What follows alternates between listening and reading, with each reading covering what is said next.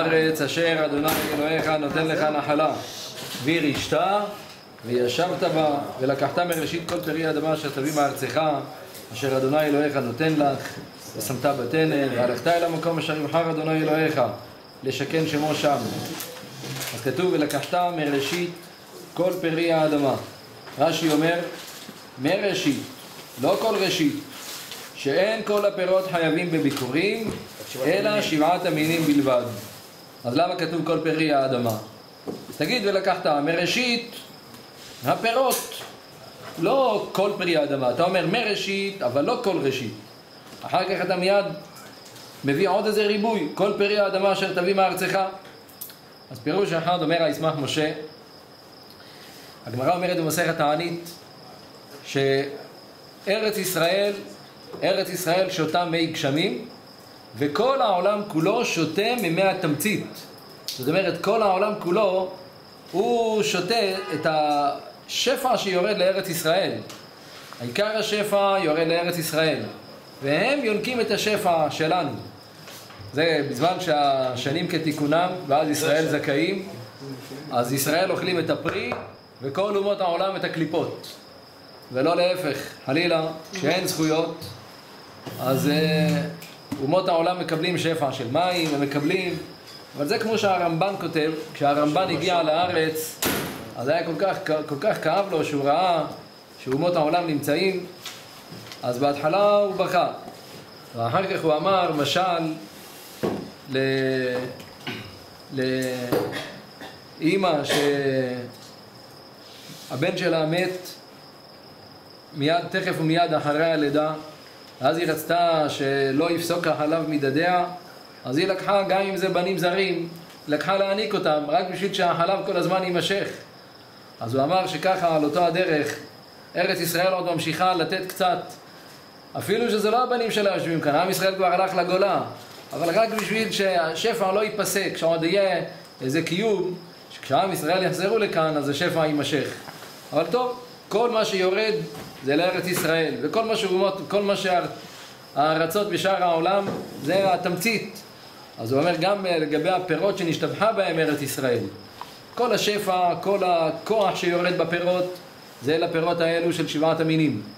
והשאר, כל שאר הפירות, אז הם יונקים משבעת המינים. אז הוא אומר, ולקחת מראשית.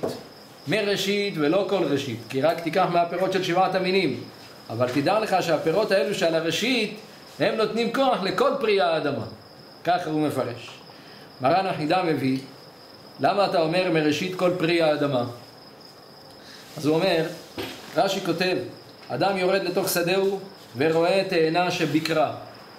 התאנה איך שהיא התחילה ככה, הניצנים נראו בארץ, עת הזמיר הגיע, כורך עליה גמי לסימן ואומר הרי זה ביקורים.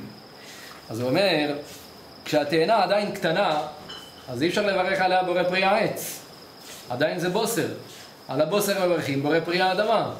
אז לכן אני לוקח מהפירות, כן, אבל זה עדיין תברך על זה בורא פרי האדמה. לכן ולקחת מראשית, אבל איזה ראשית? שזה עדיין פרי האדמה. זה, זה פירות העץ, אבל מברכים על זה בורא פרי האדמה. ורק כשהיא תגדל, אז יהיה אפשר להביא את זה לבית המקדש. וכידוע שהייתה שמחה גדולה כשהיו מביאים לבית המקדש, ובאת אל הכהן אשר יהיה בימים ההם. ואמרת אליו, הגדתי היום, והמשנה במסכת ביקורים מביאה כמה יום טוב היו עושים כשעולי הביקורים היו מביאים את הביקורים לירושלים.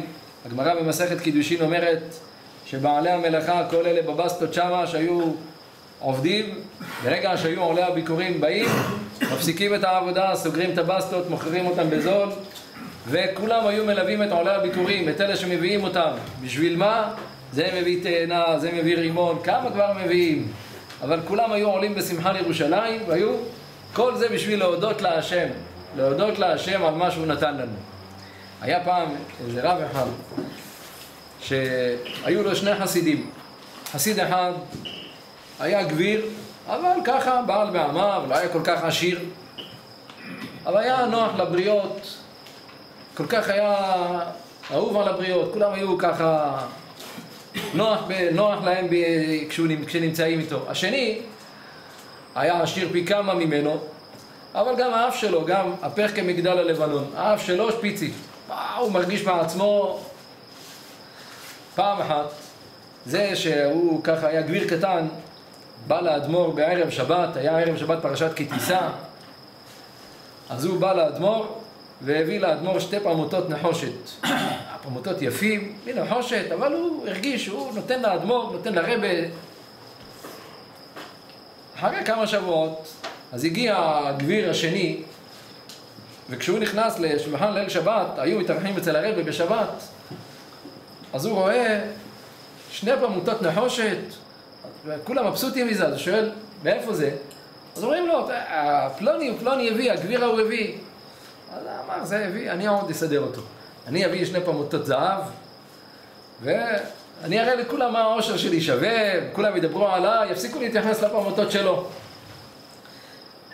היה ערב שבת כי תבוא, והוא הגיע עוד הפעם, אותו גביר גדול, וכשהוא הגיע, אז הוא נכנס ככה לרבה, עם הפרמוטות העטופים, הוא אומר לרבה, הרבה, בהפטרה של השבוע, של פרשת כי תבוא, אז כתוב שמה, תחת הנחושת אבי זהב. זה הנבואה שהקדוש ברוך הוא אומר, תחת הנחושת אבי זהב. אז הוא אומר לו, הנה הרבה, תחת הפרמוטי נחושת, אני אביא פרמוטים זהב. אז הנה רבה, הבאתי, הבאתי לך. אז הרבה מסתכל עליו, אומר לו, במקום ללמוד את ההפטרה של כי תבוא, בוא נלמד את ההתחלה של פרשת כי תבוא. בהתחלה, בהתחלה של הפרשה כתוב כי תבוא אל הארץ, ולקחת מראשית, אז בוא נראה מה היו עושים שם. אז הוא אומר לו, היה איזה יהודי פשוט, שהיה לו כמה עצי זית, הוא היה יורד, לא היה כל כך עשיר, היה יורד לעץ שלו, רואה שהזיתים התחילו, כבר התחילה הגדילה שלהם, כורך איזה גמי על הזית, אומר הנה זה ביקורים. כי כשהגיע הזמן שהזיתים גדלו, אז אין לו אפילו סלסלה להביא, אין לו כלום. אז הוא עושה, לוקח קנים, על דקל או מעלי הערבה, ועושה כל מיני קליעות, ושם את הזיתים שלו בתוך הסלסלה הזאת, ומביא את הביקורים האלה לירושלים, ומשבח את הקדוש ברוך הוא, ומודה, והייתה שמחה גדולה. וכשהוא מביא את הסלסלה, את הסל של הביקורים, אז הכהן היה לוקח את הסלסלה ולא מחזיר לו. לוקח את זה, זה כל כך חביב בעיני השם הסלסלה הזאת, שיישאר שם בבית המקדש. אבל אני יודע זה... אומר, אבל כשהיו העשירים, אלה שיש להם כרמים, אלה שיש להם עצים ופרדסים, והם היו מביאים את הקלטות, אז המשנה אומרת שהעשירים היו מביאים בקלטות של זהב. היה הולך ובוחר את הסלסלה הכי יקרה שיש והכי יפה, הוא היה מעלה את זה לירושלים. וכשהוא היה מגיש את הביקורים לכהן, הכהן היה לוקח את הפירות והיה מחזיר לו את הסלסלה. קח את הסלסלה. שלא תחשוב שאני צריך את הסלסלה שלך. אין עניות במקום העשירות, הקדוש ברוך הוא לא צריך סלסלאות. אני צריך לב נשבר ונדכה אלוהים לא תבזה. אז הוא אמר, אתה רואה, לעני הזה הקדוש ברוך הוא כל כך רוצה אותו, גם את הסלסלה שלו הוא לוקח. אבל העשיר, שכל הדרך הוא חושב, אני, בזכות הסלסלה שלי הכהנים יהיו עשירים, אומרים לו חביבי, לא צריכים לא אותך ולא את הזיתים שלך. אני צריך את, ה, את הלב שלך, אני צריך. אם אין לב, אז לא, לא הבאת לי כאן כלום. אז הוא אומר לו, קח את הפרמוטים שלך בחזרה, ולא תחת הנחושת אביזר, תשאיר לי את הפרמוטי נחושת. זה שהביא פרמוטי נחושת, אז הוא הרגיש, אני נתתי את עצמי, אבל אתה מרגיש שזה רק בשביל להחליף אותו, אז זה תשאיר, לא צריך אותך. ולקחת מראשית כל פרי האדמה. ראיתי רמז נפלא. ולקחת מראשית כל פרי האדמה. כתוב, אז תשמח בתולה במחול. הגמרא במסכת פסחים מביאה שאחד מהדברים שנבראו קודם בריאת העולם, שבעה דברים נבראו קודם בריאת העולם.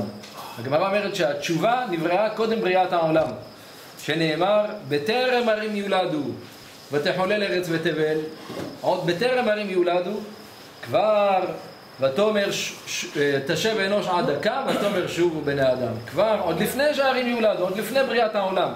כבר אז הקדוש ברוך הוא ברא את התשובה, הקדוש ברוך הוא ידע, הקדוש ברוך הוא צופה הדורות מראש, אז הוא יודע שצריך להשתמש עם התשובה.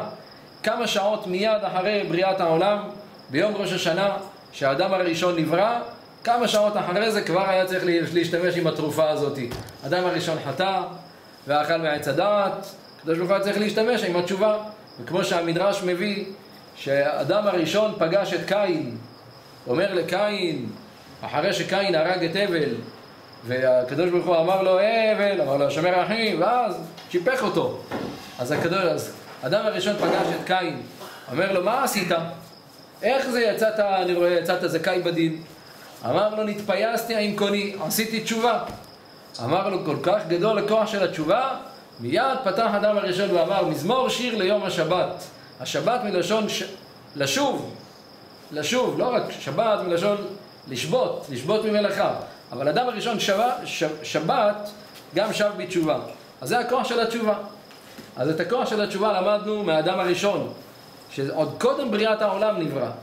עכשיו ככה, ביום ראש השנה אנחנו אומרים, היום הרת העולם, כי ביום ראש השנה נברא העולם. האדם הראשון, בריאת העולם התחילה ביום כ"ה באלול, אבל היום השישי זה יום א' בתשרי. מזל אלול זה מזל בתולה, מצד המזלות. בחודש אלול הקדוש ברוך הוא סולח לנו, כבר הוא הכין את הכוח של הסליחה, שזה בחודש אלול, כדי שכשאנחנו נגיע לראש השנה, אז אנחנו נגיע כבר מוכנים, אחרי המחילה. אז הוא אומר, זה הפסוק, אז תשמח בתולה במחול. זאת אומרת, כשזה מזל בתולה, שזה מזל אלול, אז במחול. זאת אומרת, מחלו לנו על העוונות. ולכן אז תשמח. לכן אנחנו שמחים, כי כשאנחנו מגיעים לראש השנה, אז אנחנו מגיעים אחרי מחילת העוונות, מגיעים נקיים, אז יש לנו סיכוי לזכות בדין. אז על זה הוא אומר, רמז הפסוק, ולקחת מראשית כל פרי האדמה. מי היה הראשית של פרי האדמה? היה את האדמה, האדמה שהקדוש ברוך הוא ברא בבריאת העולם. מי היה הראשית של פרי האדמה? האדם הראשון. האדם נלקח מהאדמה, האדם נברא מהאדמה. האדם ייקח מוסר ולקחת, מאיפה האדם ייקח מוסר? מראשית כל פרי האדמה, מהאדם הראשון שהוא ראשיתו של העולם. מזה האדם ייקח מוסר, לחזור בתשובה, ואז תשמח כמה שמחה גדולה יש. כמו שרב זושה מהניפולי היה אומר, בשמיים לא ישאלו את האדם למה עברת עבירות. למה ישאלו, הקדוש ברוך הוא מספיק חכם לדעת, כי הוא ידע יצרנו, זכור כעפר אנחנו, מה אתה רוצה? אתה בראת אותי ובראת את היצר רע. אתה יודע, הוא מאש, אני מבשר ודם. אומר, לא ישאלו את האדם למה עברת עבירות. ישאלו אותו למה לא חזרת בתשובה. למה עברת עבירות? אני יודע למה, זה, זה משחק מכור מראש, ברור שהאדם יעבור עבירות. כי הוא ידע יצרנו. אומרים, כי הוא ידע יצרנו, זכור כעפר אנחנו. כתוב שהאדמה, הקדוש ברוך הוא אמר, תדשי הארץ דשא מזריע זרע, ועץ פרי עושה פרי למינו. זאת אומרת שהקדוש ברוך הוא אמר עץ פרי. שאפשר לאכול גם את העץ, גם את הגזע, וגם עושה פרי. עץ פרי עושה פרי. מה האדמה עשתה? תוצא, בתוצא הארץ דשא עשב מזריע זרע, ועץ עושה פרי, לא עץ פרי.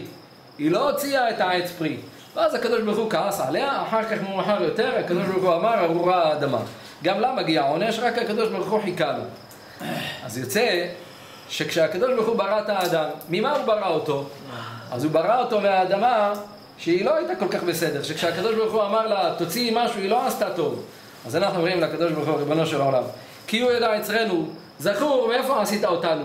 זכור כעפר אנחנו, עשית אותנו מעפר כזה, יש דפקט בפס ייצור, כבר האדמה לא שמעה בקולך, בראת אותנו מהאדמה שלא שמעת בקולך, אז מה אתה רוצה שאנחנו נעשה?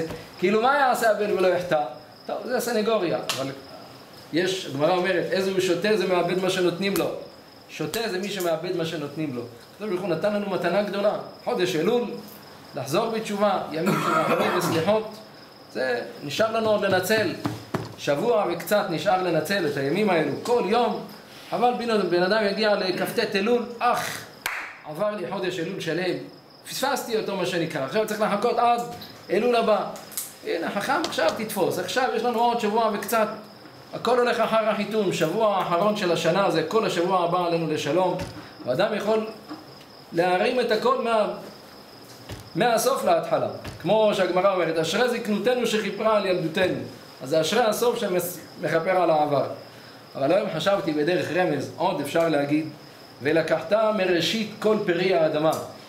הפרי האדמה, מה הראשית שלו? לוקחים איזה גרעין קטן, שמים אותו באדמה, הוא מרכיב, אבל אחר כך צומח פירות, אילן שמצמיח פירות ופרי פירות לאורך ימים ושנים.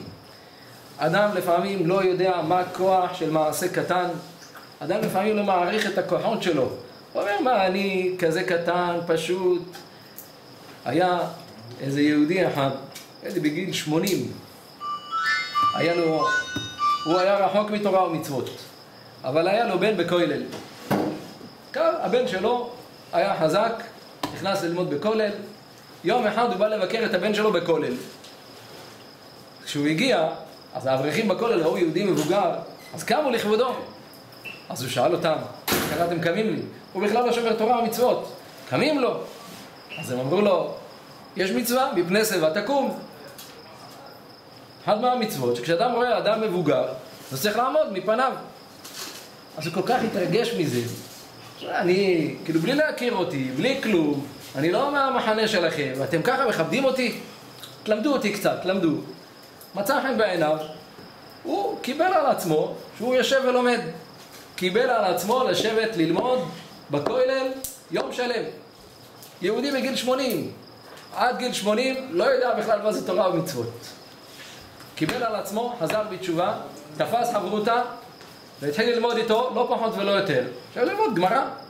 לא מוסר ועין יעקב והדברים הקלים. עכשיו תלמד איתי גמרא מההתחלה. הוא סיים פרק. פרק בגמרא. אז כשהוא סיים פרק, אז הוא שואל את האברכים שם בכולל, הוא שואל אותם, תגידו לי, עושים סיום מסכת על פרק? אני כל כך שמח שעשיתי סיום. אני סיימתי פרק, סיימתי העניין. אז הם סיפרו לו, אמרו לו את הסיפור הידוע שכולם יודעים, שהיה בזמן רב מוישה פיינשטיין איזה יהודי שגם היה רחוק והחליט ללמוד גמרא.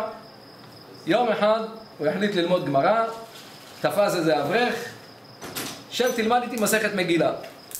טוב, מה זה מגילה? היה פעם המן ומרדכי ואסתר. מי זה מרדכי ואסתר? הוא היה אפס במושגים ביהדות. אז בקיצור, לקח לו שנה ללמוד דף גמרא. דף של מסכת מגילה. הוא סיים את הדף, ואז הוא שאל את החברותא אם עושים איזה משהו, רוצה לעשות סעודה גדולה לכבוד הזה. אז הוא אמר לו, בוא נשאל, פוסק הדור שם באמריקה היה מוישה פיינשטיין, בוא נשאל אותו.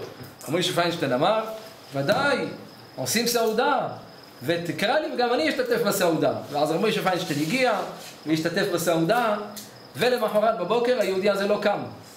ורב מוישה פיינשטיין בא להשתתף בלוויה, וספד לו. אז אמר, תראו, היהודי הזה לקח לו שנה ללמוד דף, אבל הוא תיקן את מה שהיה צריך. תראו, הוא הצליח. אז היהודי הזה שואל אותם, נו תגידו, על פרק עושים? אז אומרים לו, ודאי, הנה תראה, היה פעם כזה דבר, על דף עשו סיום, רבי משה פיינשטיין אמר, ודאי גם אתה יכול לעשות סיום. אז הוא עשה סעודה גדולה, והזמין, ו... ולמחרת בבוקר, הוא מצלצל לחברותא שלו, ואומר לו, ברוך השם, קמתי. היום ממשיכים ללמוד בכולל את העמוד הראשון של הפרק השני. והיהודי הזה ככה למד ולמד ולמד, ולפני חצי שנה באדר א' הוא נפטר לבית עולמו בגיל 93. וכשספדו לו, אמרו שהוא הספיק לסיים את הש"ס פעמיים.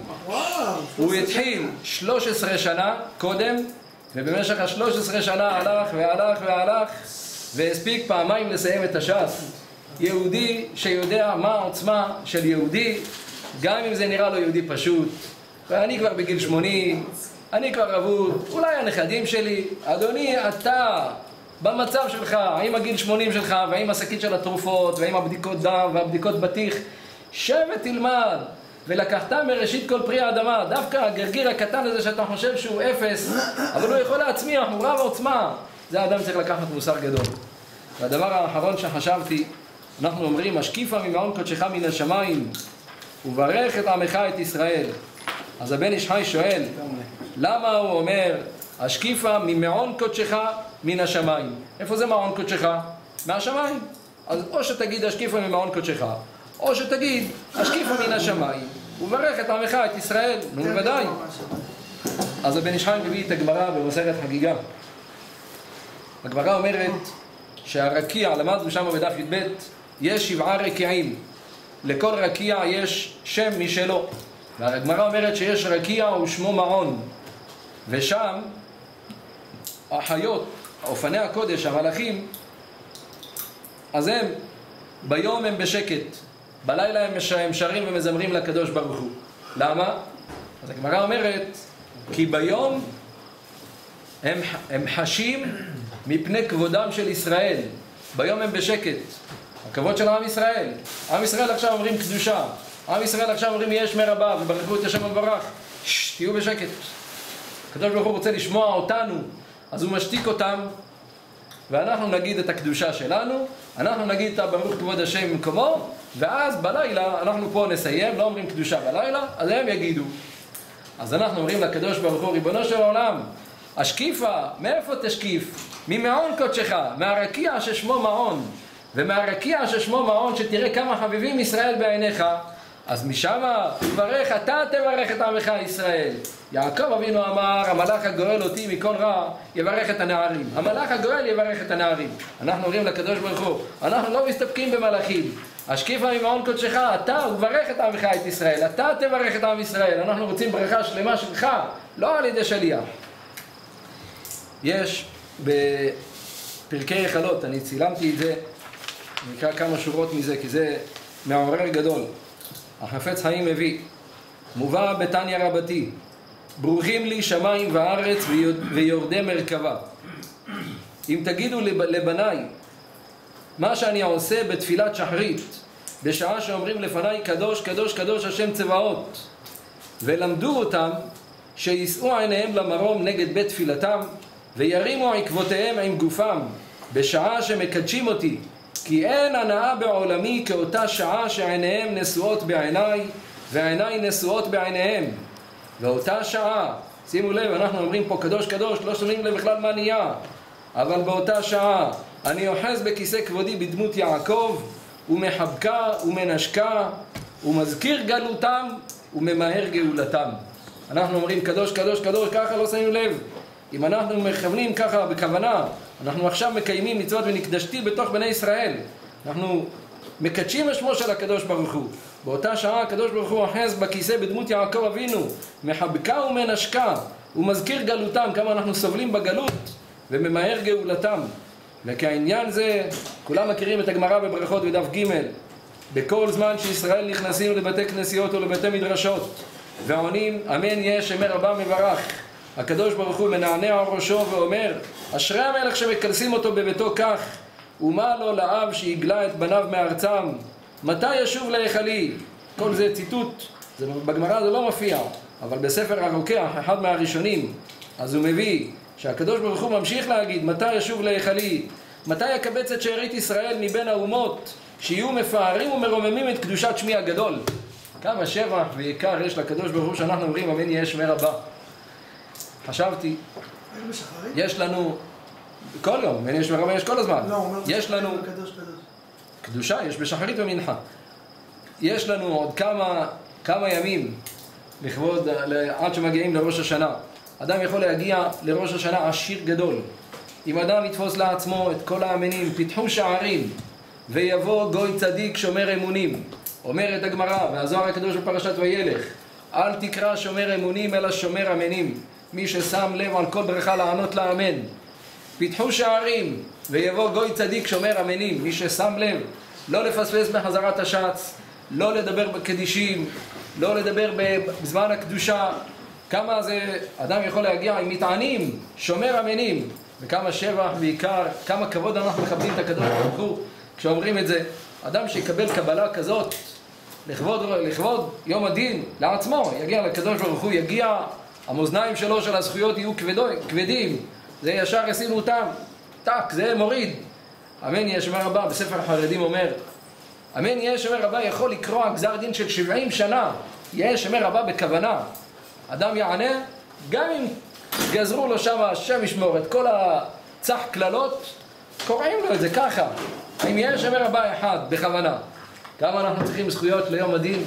אז הנה יש לנו עוד ברוך השם, עוד עשרה ימים, אפשר לומר, עשרה ימים, קצת פחות, תשעה ימים, שאנחנו יכולים להשתדל ולקבל, הקדוש ברוך הוא יברך אותנו, השקיפה ממעון קודשך, אומרים לקדוש ברוך הוא, תראה כמה חביבים ישראל, וברך את עמך ישראל, נזכה בעזרת השם יחד עם כלל ישראל לכתיבה וחתימה טובה, לשנה טובה ומבורכת. אדוני לעולם, אמן ואמן. אנחנו רצה הקדוש ברוך הוא לזכות את ישראל ורחבה להם תורה ומצוות שנאמר אדוני חפץ למען צדקו יגדיל תורה ויאדיר